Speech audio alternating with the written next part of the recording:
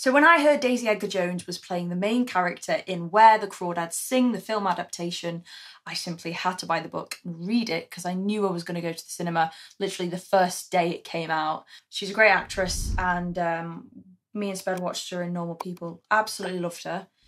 Um, there are spoilers, so just bear that in mind if you haven't seen the film or read the book yet.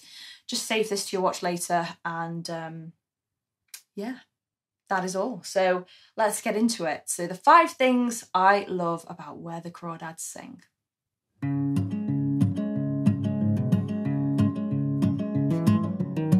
Immediately you fall in love with Kya's character. You know, when you first meet her, she's only six years old. And she's just this playful, optimistic, curious little kid. Um, and the one thing that kind of hits hard at the beginning is that everyone in her family leaves her, including her mother, her sisters, her brother, and then her father. So ultimately, you really feel for her. In fact, the only person who actually hangs around is you, the audience. You are there to watch her story unfold. And that creates like a an interesting bond between the main character and the reader in that sense you admire how this six year old, this resilient six year old, marvels at nature and how nature becomes her her teacher and mother.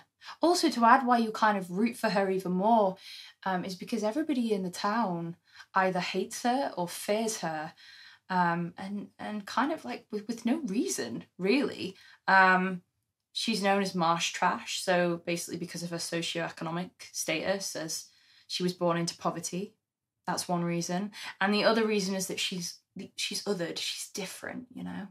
She's living out there in the marsh with alone. She must be strange. There's all these assumptions that are made about her character, and nobody but Tate actually decides to really get to know her. There's kind of this cool double-edged sword with with the marsh. Like on the one hand, uh, her her affinity with the marsh is seen by the people of Barkley Cove to kind of make her different and she represents the darker sides of human nature and she must be othered and kept at arm's length because she is born into the marsh and all of those things. But on the other hand, the marsh is her protector, her savior. Um, and it's woven intricately into her identity. You, you couldn't have Kya without the marsh.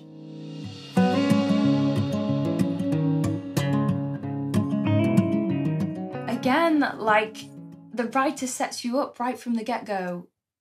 The writing is is beautiful. The expressive, observant nature of this writer is just you're enchanted. You're captivated.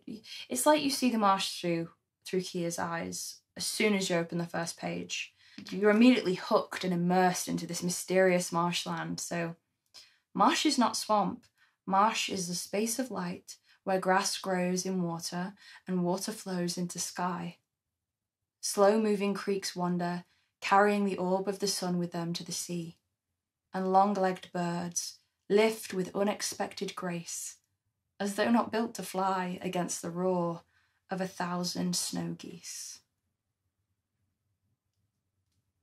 And as I'm reading that, I'm kind of like feeling into it and going,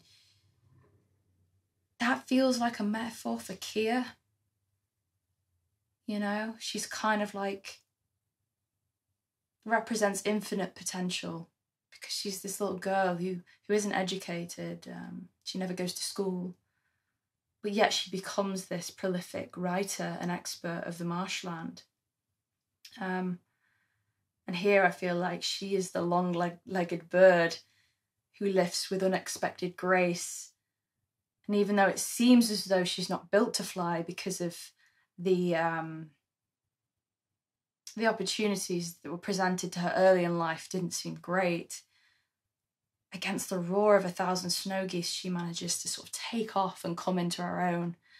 I just think that's a really beautiful way to begin the book. So, very, very clever writing.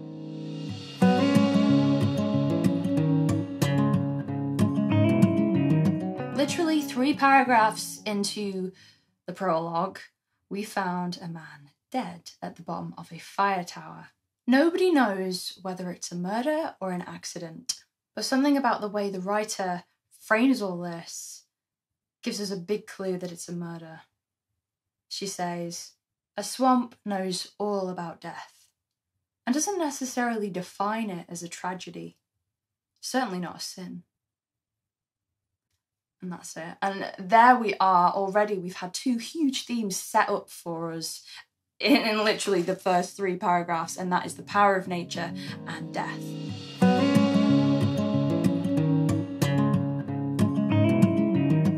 Kya's involvement in the murder is subtly and cleverly woven into the text. One thing I didn't realise until on reflection after having read the book was um, there are these very subtly, uh, cleverly placed descriptions about wildlife throughout the book. And I remember when I was when I was reading these parts, I was like, there's got to be a reason why the writer keeps kind of swanning off to talk very much in detail about the death of nature and female male sexual relationships in the natural world. And so I, I kind of went back and reread those parts and I was like, there we go. Those were the murder clues immediately, placed there before your very eyes. Firstly, there's the injured hen that's killed by its own flock, and the reason for that is because if if it was um, left to live, it would remain injured and would attract predators, and that would put the whole flock at risk. Nature here teaches Kya that actually sometimes what's good for one individual is not good for the whole. Uh, so this is your first clue. Then there's a passage about the fireflies. So um, some fireflies signal, uh, female fireflies signal to males when they're ready to mate, but they change their signal um, sometimes, and the male will kind of swan over thinking he's about to get, you know, some action, and uh, she bites his bloody head off, basically. Uh, so there's a passage in the book for this. Hang on. So, the passage reads Kya knew judgment had no place here. Evil was not in play, just life pulsing on, even at the expense of some of the players. Biology sees right and wrong as the same colour in different light. So there you go, there's your second clue. Here, nature is teaching Kya that there are lots of grey areas when it comes to life and death. The third passage that indicates Kya's involvement in the murder of Chase Andrews is when she's watching the bullfrogs and she can see how the big alpha male bull, bullfrogs croak this amazing sound, which it supposedly reveals that they've got great DNA. It attracts a lot of females to mate with them. Some stunted males, not strong, adorned, or smart enough to hold good territories, possess a bag of tricks to fool the females. And then she goes on to describe how, like, the alpha bullfrogs like croak and the weak male bullfrogs kind of like hide in the grass near this this croaking bullfrog because it's like oh all the females are going to be attracted to this alpha male and if i'm near it somehow they might think it's me that's making this beautiful music you know like there's there's a lot of trickery that's involved in in the sort of mating world of animals. And it's funny because this is exactly what chase does to Kya in their first date. He, you know, he makes up this really nice picnic. He thinks about this really thoughtful place to take her on the beach. Uh, and then he tries to have sex with her on day one. And she's like completely shocked. Um, so it's not looking good for Chase Andrews at this point, is it? No. Remember, Kya spent her entire life growing up in the marsh. The marsh has been her teacher, her parent, all those things. So she doesn't see right or wrong the same way that people who've lived in normal society, um, she doesn't see things the same way. She just sees death as just part of life, potentially murder as part of life. Also, Chase did try to rape her. He physically abused her and then he's hunting her down at one point of the book to get revenge. So, what was she supposed to do? Report him to the sheriff?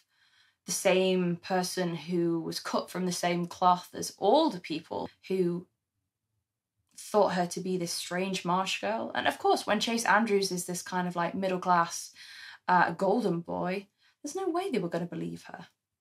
Kya simply saw her options and made a decision. She could either have let Chase rape her and be at his mercy for the rest of her life, she could leave the marsh, but let's face it, she's not going to leave the marsh because it's all she's ever known. And she's actually making a living from it. Or she could do something about it.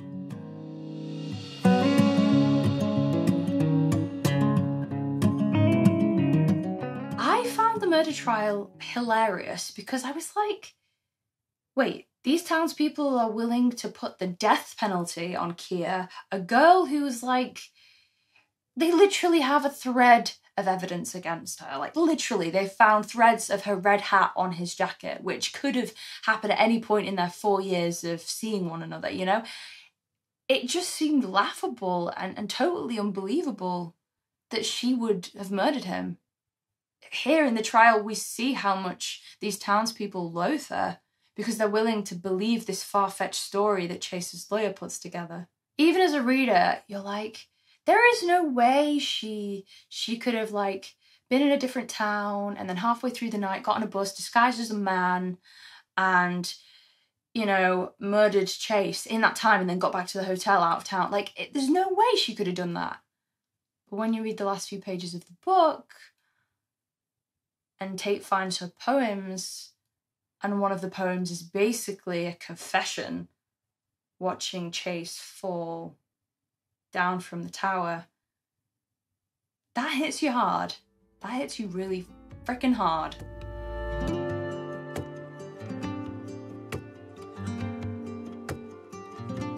So those are my five reasons. Um, thank you so much for watching. Let me know what you thought of the book and the film in the comments below.